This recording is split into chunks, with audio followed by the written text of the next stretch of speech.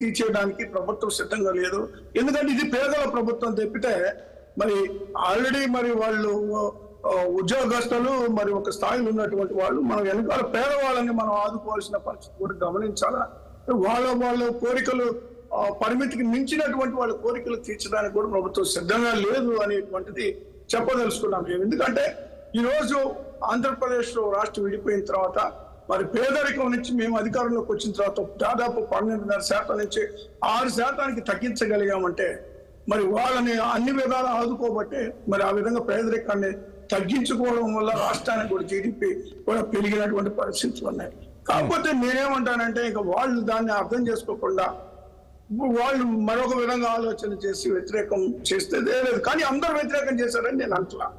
ఉద్యమం వ్యతిరేకించారు తప్పితే దాదాపుగా మరి కొద్దిగా అటు ఇటుగా పోస్టల్ బ్యాలెట్లో కూడా మాకు అనుకూలంగానే ఉందని చెప్పలేదు. ఓకే రైట్ ఒకసారి మనం ఫారూక్ సిబ్లింగ్ దగ్గరికి వెళ్దాం. గుడ్ మార్నింగ్ అండి ఫారూక్ సిబ్లింగ్ గారు. శుభోదయం అండి. శుభోదయం శుభోదయం. ఏంటి ఏ ఏమనిపిస్తుంది? చూసాం ఇప్పుడే పోస్టల్ బ్యాలెట్ సంబంధించిన కొన్ని ఫలితాలు అయితే ముందు ఏవైతే ఉన్నారో వాళ్ళంతా కూడా లీడ్లో ఉన్నట్టు తెలుస్తుంది. అది కూడా టీడీపీకి సంబంధించిన అభ్యర్థులు. ఏంటి ఇది ఇలాగనే ఉంటుందా? రేపు ఈ ఇప్పుడు ఈవీఎంలు కూడా సేమ్ ఇలాగనే కంటిన్యూ అవుతుంది. అని చెప్పుకో చెప్పు చెప్పవచ్చా? లేదు అలా ఏముండదు. ఇక ఎందుకంటే వైసీపీ నేతలు చెప్తున్నారు ఏ రకంగా మేము సంక్షేమ పథకాలు తీసుకొచ్చామో అవన్నీ గ్రామస్థల ప్రతి గడప గడపకు వెళ్ళింది కాబట్టి వాళ్ళందరూ మా వైపే ఉన్నారు అనే విధంగా ఈరోజు వైసీపీ నేతలు చెప్తున్నారు. ఆ పరిస్థితి ఉందంటారా? సార్ ప్యానెల్లో ఉన్న సోదరులందరికీ మరియు అదేవిధంగా రాష్ట్ర ప్రజలందరికీ కూడాను శుభోదయం సార్.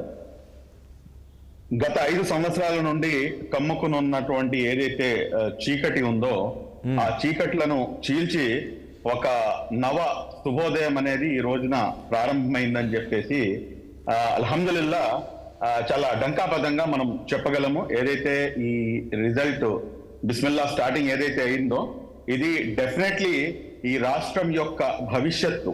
ఈ ఆంధ్ర రాష్ట్ర ప్రజల యొక్క ఐదు కోట్ల మంది ఆంధ్రుల యొక్క భవిష్యత్తును నిర్దేశిస్తుంది. అందరికన్నా ముందు నేను ఇందులో కంగ్రాట్ చెప్పాల్సింది దేనికంటే ఎనభై ఒకటి పాయింట్ ఎనిమిది ఎనిమిది శాతం అంటే ఆల్మోస్ట్ ఎయిటీ టూ పర్సెంట్ అంటే ఒక రాజకీయ పరిణితి చెందినటువంటి ఆంధ్ర రాష్ట్రానికి చెందినటువంటి పౌరులంగా గెలుపోవటంలో అది దేవాధీనం. అది దాని గురించి మనం తర్వాత మాట్లాడవచ్చు కానీ అందరికన్నా ముందు ఏంటంటే ఇంతమంది ప్రజలు ముందుకు వచ్చి వారి యొక్క ఓటు హక్కుని వినియోగించుకున్నటువంటి తీరు ఏదైతే ఉందో దీనికి రాష్ట్రంలో ఉన్నటువంటి ప్రతి ఓటర్కి కూడాను అభినందనలు తెలియజేయాలి. అదేవిధంగా ఈసీఐకి కూడాను అభినందనలు తెలియజేయాల్సినటువంటి అవసరం ఉంది.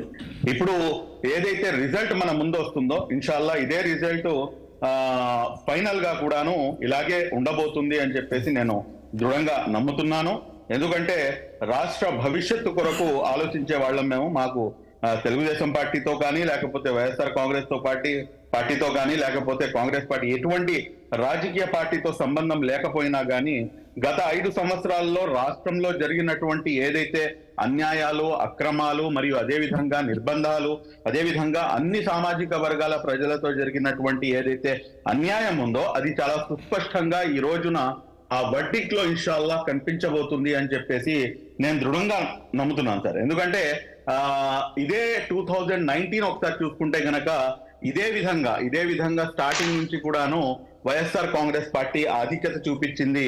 అప్పుడు కూడాను మేము తెలుగుదేశం పార్టీకి మద్దతు పలికినా కూడా కానీ ఖచ్చితంగా ఆయన అధికారంలోకి వచ్చిన తర్వాత మేమైతే అనుకున్నాము ఖచ్చితంగా ఈ ఇరవై ఇరవై సంవత్సరాలు ముప్పై సంవత్సరాలు అని చెప్పి చెప్పినా గానీ మనం దాన్ని నమ్మకపోయినా గానీ కనీసం ఆ రెండో మూడోసారి అయినా గానీ ముఖ్యమంత్రి అయ్యే అవకాశం ఉంటుంది. అంత చక్కటి పరిపాలన. ఎందుకంటే తండ్రికి తగ్గ తనయుడుగా మంచి పరిపాలన అందిస్తారు అని చెప్పేసి ఆశించాము. కానీ ఇక్కడ చాలా స్పష్టంగా ఏమిటంటే స్వయంకృత అపరాధాలు అనేవి చాలా సుస్పష్టంగా కనిపిస్తున్నాయి. అందులో ఎటువంటి ఆ, అతిశయోక్తి లేదు. రెండోది ఏంటంటే ఏదైతే మెయిన్ అపోజిషన్ పార్టీ ఉందో ఆ అపోజిషన్ పార్టీని చాలా తక్కువ అంచనా వేశారు.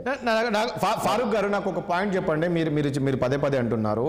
ఈ ఐదేళ్ళు ఏదైతే. కమ్ముకుందో అదంతా ఈరోజు కనుమరుగు అవుతుంది అనే విధంగా కామెంట్. ఎందుకు మీరు ఆ పరిస్థితి ఆ రకంగా మాట్లాడాల్సిన పరిస్థితి వచ్చింది? ఇప్పుడున్న ప్రభుత్వం నుంచి ఎలాంటి ఏంటి ఇబ్బందులు వచ్చినాయి మీకు? అంటే రాష్ట్ర ప్రజలందరికీ వచ్చాయా? లేక మైనార్టీలకు వచ్చాయా నేను నా మైనారిటీ వర్గానికి చెందినటువంటి ప్రజానికంగా నేను మాట్లాడాను సార్. నేను తర్వాత నేను ఫస్ట్ ఎన్టీఆర్ని దాని తర్వాత ఈ రాష్ట్ర పౌరుడిని ముందు మనం మాట్లాడుకుంటే కనుక ఈ రాష్ట్రం రాష్ట్రం బాగుండాలి. రాష్ట్రం సస్యశ్యామలంగా ఉండాలి రాష్ట్రం దినదినాభివృద్ధి చెందాలి అని చెప్పేసి ఆకాంక్షించే వాళ్ళల్లో ప్రప్రథమంగా ఉండేటటువంటి వ్యక్తులం మేము. సరే రాష్ట్రం బాగుంటే రాష్ట్రంలో ఉన్నటువంటి అన్ని వర్గాల ప్రజలు బాగుంటారు.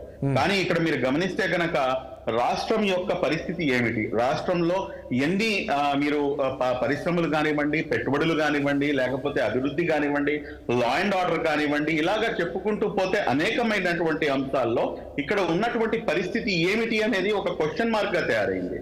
దీన్ని మీరు కాదంటానికి లేదు. కానీ ఇక్కడ మీరు అదే విధంగా రెండో వైపును చూసుకుంటే కనుక ఏదైతే చెట్టు కొమ్మపై గౌరవ ముఖ్యమంత్రి వర్యులు మాన్యశ్రీ శ్రీ వైఎస్ జగన్మోహన్ రెడ్డి గారు రెండు వేల పంతొమ్మిదిలో అధిష్ఠించారో ఆ చెట్టు కొమ్మ పేరే ఎస్సీ ఎస్టీ బీసీ మరియు మైనారిటీలు. ఆ వర్గాల ప్రజలు కనుక ఆయనకి అంతగా తోడ్పాటు అందించకపోయి ఉంటే కనుక ఆయన ముఖ్యమంత్రిగా అవ్వటం అనేది ఒక పెద్ద క్వశ్చన్ మార్క్గా మిగిలేది. కానీ ఆయన అధికారం చేపట్టిన తర్వాత ఈ వర్గాల ప్రజలపై జరిగినటువంటి అన్యాయాలు ఎటువంటివి అనేది ఒకసారి ప్రక్షాళన చేసుకోవాల్సినటువంటి అవసరం ఉంది.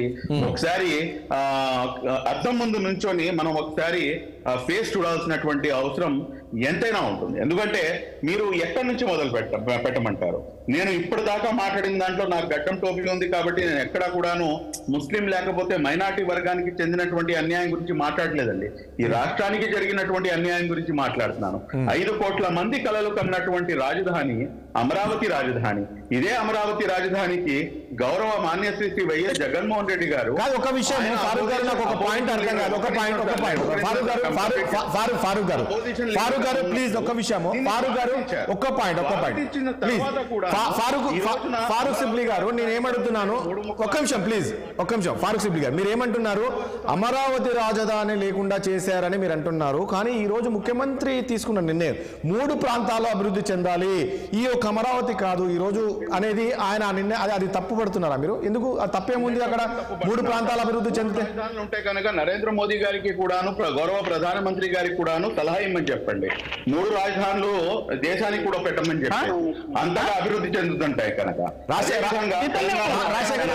ఒక్క నిమిషం రాజశేఖర్ గారు క్వశ్చన్ ఇస్తున్నారు ఆయనకి కూడాను ఆ, తీసుకున్నారేమో లైవ్లో నేను రాజశేఖర్ గారు రాజశేఖర్ గారు. సార్ రాజేష్ గారు ఆ, వీళ్ళు ఇన్ని అంశాలని ఇప్పుడు మాట్లాడుతా ఉన్నారు. రాజధాని అంశం అనేటువంటి తెలుసు. అది అది అది ప్లీజ్ సార్ ప్లీజ్ రైట్ మాట్లాడు రాజశేఖర్ గారు. రైట్ రాజశేఖర్ గారు, చెప్పండి. మాట్లాడండి మాట్లాడండి. చూ- చూశారు కదా ఏ రకంగా క్వశ్చన్ చేశారో? ఈ ప్రభుత్వం వచ్చే ఐదేళ్ళలో ఏ రకంగా నష్టం